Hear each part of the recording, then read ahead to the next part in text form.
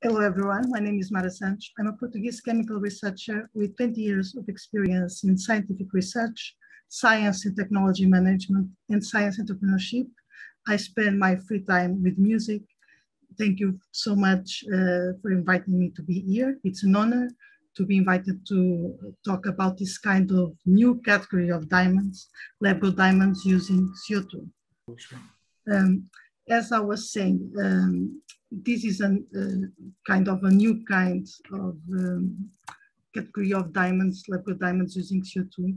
I'd like to start this presentation of my entrepreneurial journal, journey in diamond industry, saying that as a chemical researcher, I always had an attraction for the amazing behavior of carbon. And uh, what drives me in this research is interested in this chemical element in all of its soluble structures, because nowadays carbon is considered an enemy, but uh, it, may be, it may be waiting um, for the right perspective to become an economy of revolution, as it may represent a billions of dollars opportunity in diamond industry can be just a starting point. So four years ago, um, the scientific community context was the knowledge that the Earth is becoming a clock bomb with uh, its explosive charge, CO2, accumulating in the ocean due to its excess in atmosphere. I made a trip to New York. My hotel was near Diamond District, and I used to pass through it every day. And every day, someone at the doors of the stores used to ask me if I sell diamonds and used to try to negotiate with me. I thought it was uh, an hilarious uh, situation because it looks like I have a diamond seller face, uh, but I was not a seller at the time. At, and in last night, I recorded the exact moment at which I had the idea to produce diamonds using CO2 uh, in my last return to the hotel as a starting point of this project. I have never seen no one doing it, but diamonds are made of pure carbon there's a lot of CO2 in the atmosphere and CO2 has carbon. So what if the air is a diamond mine? Um, I had a, a, presentation of some of the largest diamond mines in the world uh, with big goals, the danger they can represent for the workers, the environment impact around it, and the conflicts that frequently happen related to diamonds.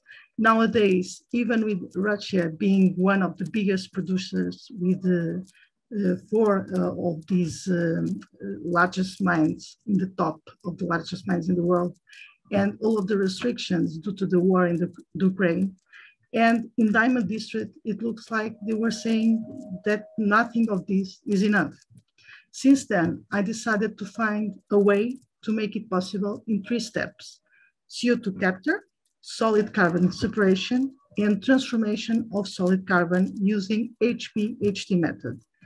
This part is something that science can do since 1950s, and uh, most recently with gem quality, and uh, with the world record of diamond size, which can correspond to a bigger capture and also bigger profit, because the diamond size also influences their price. We could also try to do it using CVD process, but it would require more steps and resources uh, to do it, as we would need to transform the CO2 in CH4 and also use H2 in the reactors. So I prefer to focus in HPHT method. Uh, the first step, how to capture CO2. When I started my research, I only saw Climeworks already capturing CO2 from the air. They were in greenhouse, greenhouses phase yet, using their technology near greenhouses to enhance the growth of plants I contacted them asking if they could sell me a lab version of their technology, as I not need a lot of capture because diamonds are still little pieces, even the bigger ones, uh, comparing with the capture they already could provide at the time. But they told me they could not sell me a lab version of the technology. So I researched, I researched further because if I have to buy CO2 far from where I can produce and sell diamonds, I would emit more in transportation than I would capture. Uh, so I read about a lot of studies related to CO2 capture, their achievements and their challenge, and all of them ended in one of these situations. Not easy to replicate, rare elements used, not scalable. So I had another idea. What if only change the state of matter of CO2? We could do it refrigerating air below minus 78.5 degrees Celsius. Uh, at this temperature, CO2 can solidify and uh, we could already capture nitrogen from air, for example. The temperature needed is far below the one needed to capture CO2. Then uh, I saw the only process using cryogenic capture actually uses um, liquid nitrogen in that process. And this is in UK, for example, um, to get into the needed temperature. It looks a no sense process, but then I found they used liquid nitrogen from industrial, industrial waste. But this is a very limited option in that case. I researched further in terms of refrigeration technologies, and uh, I found a type of technology called thermoacoustic refrigeration. It only uses sound waves to pressure a working fluid inside uh, to create heated and cooled zones due to pressure difference while the sound wave is propagated. Um, we can find at least one option in the market uh, reaching far below the needed temperature. Uh, and there's also a project in Japan, another in China, I think. Uh, they've proven it can be done in a low cost way to reach uh, at least minus, uh, 107 degrees Celsius. Um, and in the presentation, you could see they, they solidify something near uh, the technology in these uh, temperatures. Uh, but uh, these uh, technologies were not designed to capture this CO2 that they form. And the idea of CO2 diamonds uh, is to develop this type of technology to collect this CO2 that can be um, solidified, solidified with this process. Uh, so that the part of CO2 capture, uh, how to separate carbon from CO2. Once again, uh, the scientific literature stated all the challenges related to this usual endothermic process, the lot of energy needed, the behavior of CO2 when the source of energy were lasers, for example, and also the rare materials needed, uh, too much complicated, all of this. In this point, I had the idea to observe the plants because they do it naturally. They capture CO2 and uh, they separate carbon to use it in the sugars that feed the plants. How actually they can do this? Well, um, they use a molecule called the rubisco. Uh, it, it is the responsible to do this job in the plants. And I, res I researched the exact part where it do it and I found an easier way to do this separation using an abundant and non-toxic element. The reaction of this element with CO2 can separate solid carbon, and if you analyze it, it's in the form of few layers graphene and graphite. So the idea would be to use this graphite in a HPHT reactor powered by green energy to produce lab-grown diamonds using CO2 with zero emissions. Now I have a complete idea how to make it real. I start uh, sharing it uh, to gain traction and uh, enhance my network, first in scientific community and then in entrepreneurial challenge.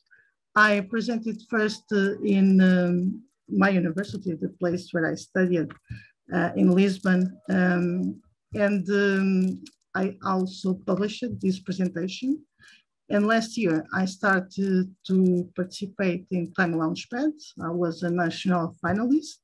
I was invited to participate in a, a program in Canada, Carleton University, Cross Border for Local Value Program. It was a three-month program um, with the objective to enhance the business plans to get uh, 1 billion in five years, the stated unicorn um, Roto, I can say that.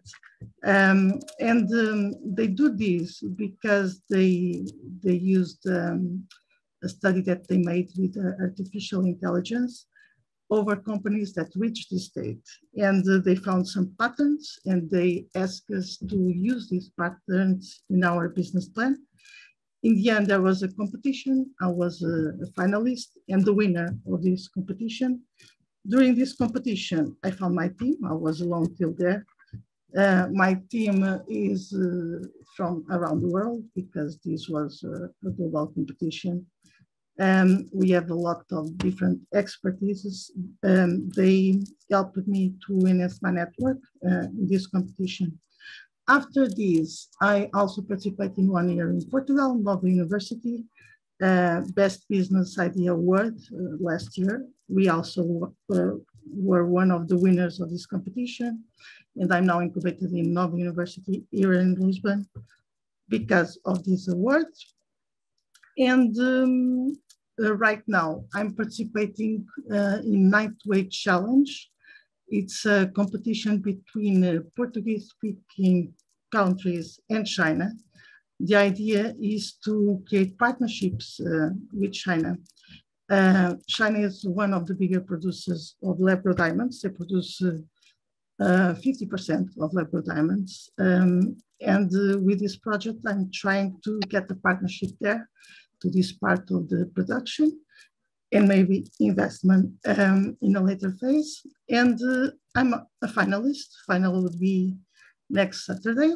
And I'm also in another competition here in Portugal from um, Entrepreneurial Portuguese uh, Association. This is lasting all of this year. It will last till next year, June.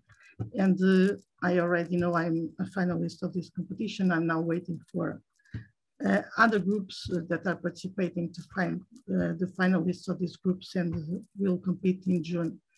Um, so it was an honor to receive also this invitation from International Institute of Gemology uh, to present this uh, process and to do this virtual lecture and to give assistance in a new course and book related with this topic, uh, as what was told to me.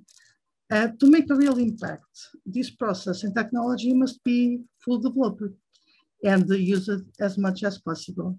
I need investment to buy reactors or partnerships to make it easier at this point because it's a theoretical process with scientific proof of concept in all of the steps. But I didn't create the first time with this process because I'm doing this as an independent researcher and the machines are not cheap. Uh, there's no potential partners here in Portugal because there are no producers here yet. And even with potential interest of Cartier or Samsung, for example, they they required uh, meetings uh, to talk about this. You need to see the first one created with the process to, to get to further investment in, in after the, this, this step. Uh, we know there's an increase in demand because even customers are demonstrating environment conscience. Um, but with further development, jewelry could not be the only possible impact as liability can also be used in other segments like electronics and energy. Uh, for example, there's a company making diamond batteries and they say it could last for thousands of years. So I think the best way to impact is to share knowledge and uh, find partnerships. And that's why I really appreciate this opportunity. Thank you very much. And uh, sorry, uh, my computer computer is blocked. I think I can now uh, maybe hear your questions, but I'm not sure about it. Uh, Mrs. Santos? Yes. Uh, uh, uh, hi, thank you so much for speaking with us and telling us about your research. It's quite fascinating. Um, I, was, I was wondering how uh, using CO2 is different from using methane uh, that I suppose people use for the CVD process. Yes. Uh, methane can be achieved uh, from CO2 with a methanation process. This process needs solvents, needs energy, um, and um, there are competitors in the market doing it with the methane, with CVD process. But um, when I started the research, I didn't know the competitors and I, I didn't know their ideas. Uh, I decided by myself that um, uh, HPHT would be better because um, comparing the process, um, I think I need less resources and less steps uh, to get into the diamonds. So, and, and also the, the fact that HPHT can produce the bigger diamonds and they are the most valuable and they can get the bigger capture. Um, That's why I decided to, to use um, HPHT, but it's also possible to use CVD. Uh, we have to start with the transformation of CO2 in CH4. Okay, okay. Thank you so much. Thank you. Hello, ma'am. Uh, what is the standard size for gem quality diamond? What is gem quality diamonds? Uh, well, there are, uh, um, we can say, an evaluation of the diamonds, and we can uh, put them in uh, four types. And um, when I refer gem quality, I refer to, to 2A. Uh, I think it's the most valuable, colorless, and all of that. Uh, we can also produce uh, color diamonds, and they would not be 2A type, but um, gem quality are mostly um, the ones that are in this um, in this uh, categorization. I think we can call that. It's something that is uh, an universal pattern. Uh, so um, in the beginning, HPHT was used just for industrial use, but uh, nowadays uh, there are new type of equipment um, and uh, we can already achieve gem quality with these new equipment. Um, and that's it. I don't know if I answered your question. Okay, thank you. Thank you. Any more questions? Uh, Ms. Santos, I have one more question. Yeah. I was wondering what you think the pricing structure for these diamonds would be compared to natural diamonds? Okay, uh, this market already exists. So um, customers already can buy lab grown diamonds in jewelry uh, mm. and even made from CO2 because as I said, there are already competitors in the market using CVD process. Um, the normal lab grown diamonds as a price uh, 30 to 40% uh, reduced compared to the, the natural diamonds. Uh, but I think uh, in case of the competitors in the CVD process, they are considering um, the diamonds from CO2 as premium diamonds. So comparing to lab grown diamonds, they are uh, maybe um, not so reduced. Um, but uh, they are still uh, reduced compared to natural diamonds. Okay, all right. Thank you so much. Thank you. Um, what are the possible inclusions? The inclusion, the possible inclusion. Yeah, possible inclusions.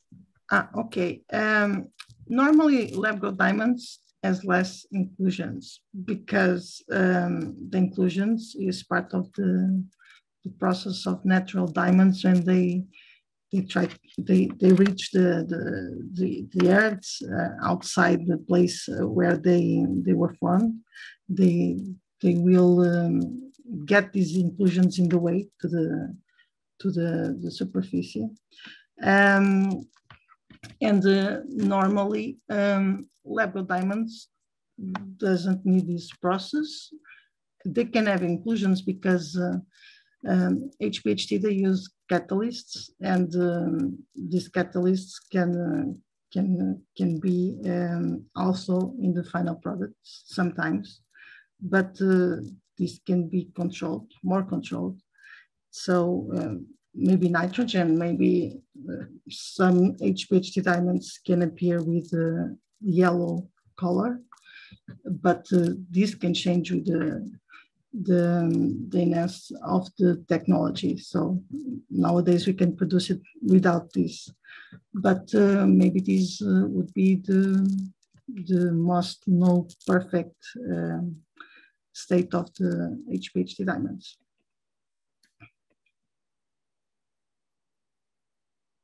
Did I answer the question?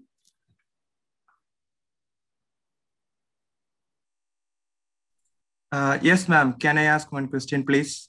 Yes. Uh, ma'am, yeah, these kind of diamonds comes in which type, like 1B or type 2B, if we are checking it yes. using TAR spectroscopy?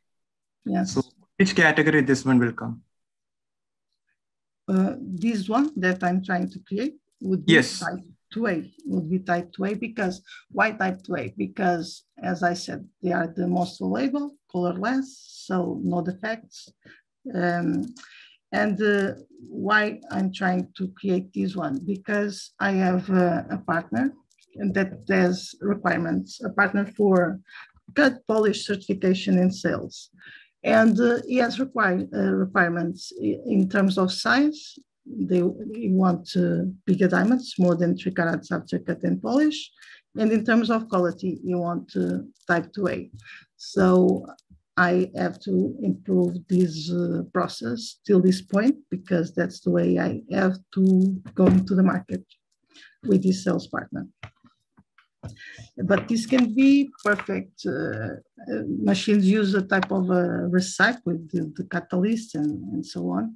This can be perfect. Um, and um, to perfect this, we need uh, someone with experience in HPHT that can uh, can bring this type of expertise uh, to this perfection of the recipe that we use to achieve these these type 2A diamonds. Um, is there any standard methods which we can use, like using a cross polarized filters or something like that to interpret the interference pattern using a microscope? Or should we need the advanced uh, spectroscopical method like Raman spectroscopy or UV-Vis, NIR, that kind of things are needed. Is there any basic tools that we can use to identify your stones? Like I said, I didn't produce the first one yet. This is a theoretical process uh, that is proven um, in the basic uh, concepts that we're using. Um, so I can't answer this question because I don't have here the first diamond to show uh, what the technology can differentiate it uh, from the others. But uh, as long as the, the machinery uh, is getting better, it's most difficult to, to, to, to see the difference. And uh, as we use more advanced technology, uh, to produce, we also need more advanced technology to recognize that uh, they were produced in labs and in this specific way. Okay, ma'am. Okay, thank you. Thank you. Any more questions?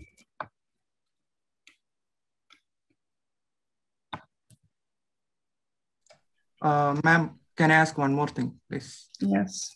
Uh, normally, this HPHT synthetic diamonds have a phenomena called phosphorescence that after glowing of fluorescence, right? So this kind of diamonds also shows that phenomena, phosphorescence.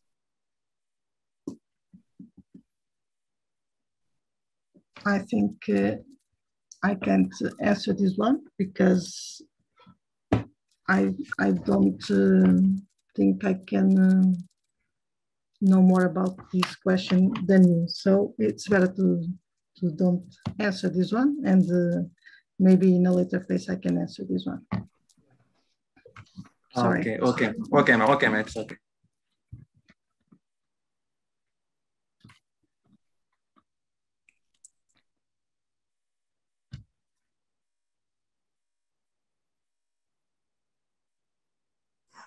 Ma'am, there are uh, two, three questions in the chat box.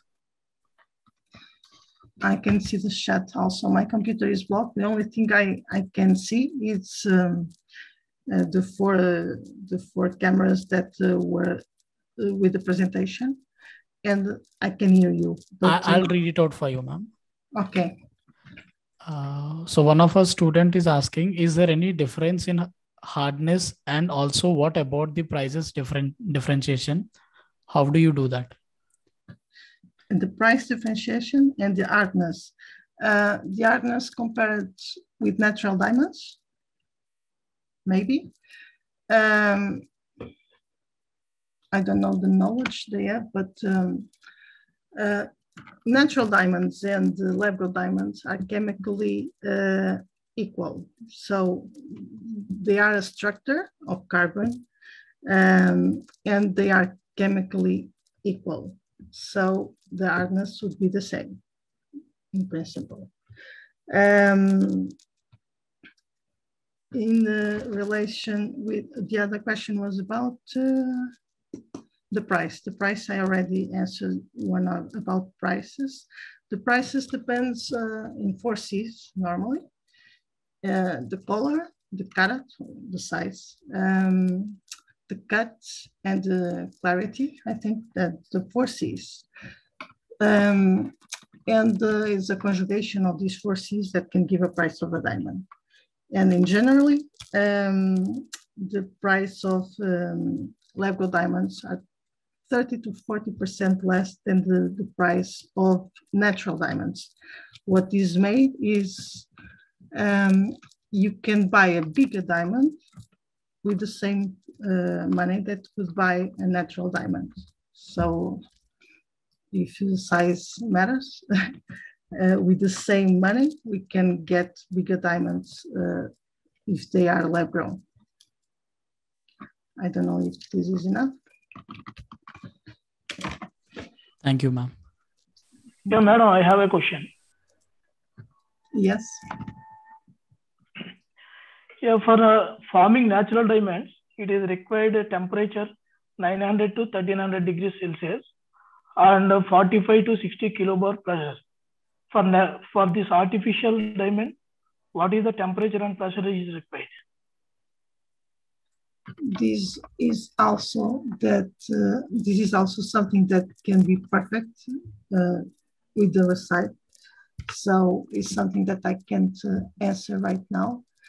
Um, but um, we can say in terms of energy that we need this type of machines uh, need uh, 10 kilowatt hour uh, to to to realize their function. And um, they need uh, normally two to four weeks um, to produce the diamonds.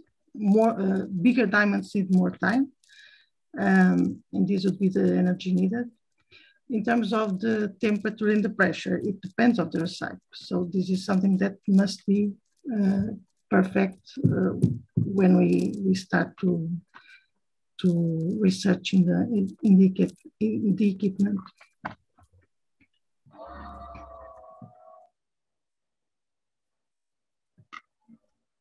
Ma'am, I have shared the presentation on the screen. Okay. Ma'am, you can see the presentation? Yes, I can see it. But yes. uh, you know, in second slide, we are using the PDF file, okay? So this was to uh, to be so when I was talking, uh, you can test them all, and if they have any question in any of them, I can answer.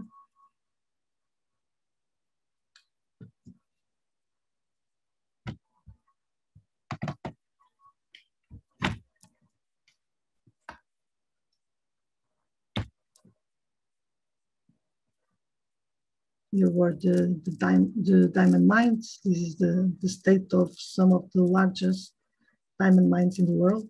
Four of them are in Russia. this is not a beautiful image to see, but that's a true of natural diamonds.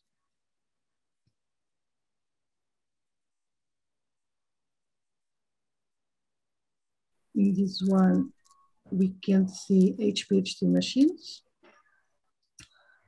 Uh, this is a facility in China. Um, these are the main characteristics of HPHT. And in the next one, uh, this is a CVD facility in India. Um, I found an image from India and I decided to use it here. They are different, the, the, the reactors.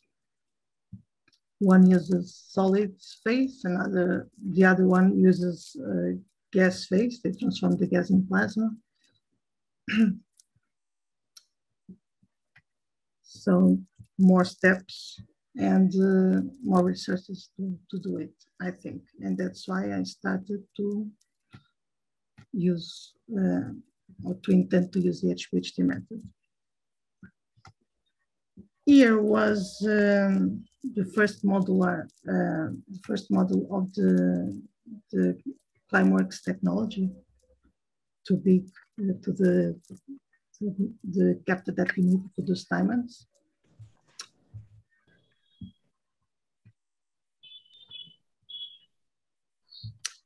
India uh, is uh, a process from UK. Uh, they use cryogenic carbon capture, but they used to do it um, from uh, gas stream, rich gas stream from industrial waste. Uh, it's uh, another disadvantage, I think, because um, uh, it needs to be associated also uh, always with another process. And my intention is to create a technology that can be used anywhere. Where we have the, facility to produce, we can have the, the machines to capture the CO2 because if you need to, to travel with the CO2 from one place to another, you will emit more CO2 in the transportation. I think the, I think the best idea is to have facilities near markets and do the capture there. Um, the other slide is the, one of the most advanced technologies that is in Japan. Uh, uh, with this, the thermoacoustic refrigeration that reaches minus 107 degrees Celsius. And you can see here the solidification uh, in this part of the, of the technology, but they don't, they don't collect it. So my idea is to collect here and then use the, these dry ice, as we call it, CO2 in solid state, uh, dry ice, in a further step. Here is the Rubisco uh, molecule, the one in plants that are responsible for the separation of solid carbon from CO2. And they do it with a specific uh, elements. And if you use this element in our dry ice, we'll spray it uh, solid carbon. And uh, analyzing this solid carbon, it is in form of layers graphene and graphite.